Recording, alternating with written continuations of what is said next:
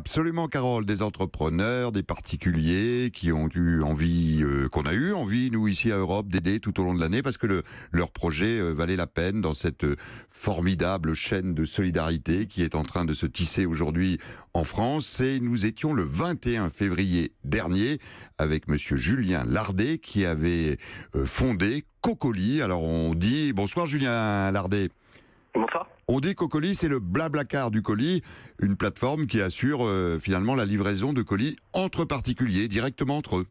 Ouais, c'est exactement ça en fait. On a un site de livraison entre particuliers, c'est-à-dire qu'en fait on est en, on en relation en fait des gens qui, euh, ont besoin d'envoyer quelque chose.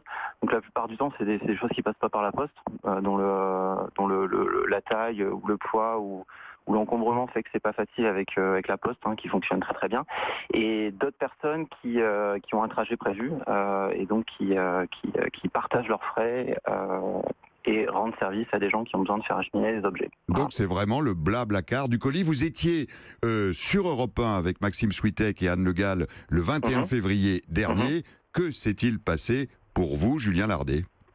Bah déjà en fait on a une on a une belle une belle progression en termes de en termes d'inscrits euh, parce qu'en fait en mémoire on était aux alentours de 65 000 utilisateurs. Euh, Aujourd'hui, on a plus de 110 000 personnes qui se sont euh, inscrites sur la plateforme. Redites-nous bien le chiffre parce qu'on n'a pas forcément bien entendu. Vous aviez 65 000 et vous êtes passé à 110 000. 110 000, pas mal. Ouais, c'est une super progression, on est, vraiment content. Euh, ensuite, euh, bah, depuis, en fait, on a, lancé différents partenariats, notamment avec Webus, euh, qui est la première compagnie d'autocar et une filiale de la SNCF. Et donc on permet à des, voyageurs bus de rentabiliser leur trajet en rendant service à une autre personne de la communauté Cocoli. Donc ça c'était en avril. en juin, on a eu le, on a eu la chance de pouvoir présenter notre initiative en, en faveur de la mobilité des, des, biens et des marchandises à la tribune du Parlement européen qui était, euh, un mhm. grand moment pour euh, pour Cocoli et, euh, et puis bah il y a pas longtemps en fait on a été mis en avant dans un gros sujet sur donc Capital donc sur M6 un dimanche soir concernant les bons plans pour pour conduire ces les, ces frais de voiture sur la route sur la route des vacances. Donc, ah ouais, c'est super. Court-circuit permet des relations longues avec les gens et plus solides. Bah, C'était un peu notre but sur Europe 1 d'avoir mhm. fait. C'est pour ça qu'on voulez prendre de vos nouvelles, Julien Lardet. Ce qui est intéressant d'ailleurs, c'est qu'au-delà de l'augmentation d'utilisateurs de, la plateforme, c'est que ça facilite souvent cette ouverture médiatique, finalement l'ouverture vers euh, des institutionnels euh, qui permettent de développer votre idée.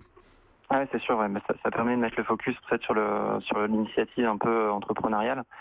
Euh, et euh, d'intéresser, bah, c'est exactement ce que vous dites en fait, hein, des, euh, des gens en fait de la, de la, sphère publique qui du coup s'intéressent un peu au changement des, des comportements, des nouvelles, des nouveaux modèles économiques et d'avoir ce que ça peut apporter en fait à la société. Donc là, c'était vraiment à l'échelle européenne, ce qui est super intéressant parce que nous, on a vraiment un projet européen dans le sens où de plus en plus on ouvre, le, on ouvre les frontières et on a des gens qui veulent envoyer en dehors de la France. Donc ça, c'est vraiment eh ben, super intéressant. Et eh ben ça tombe bien, on en, on en fera le relais sur européen d'un projet forcément européen, Julien Lardet.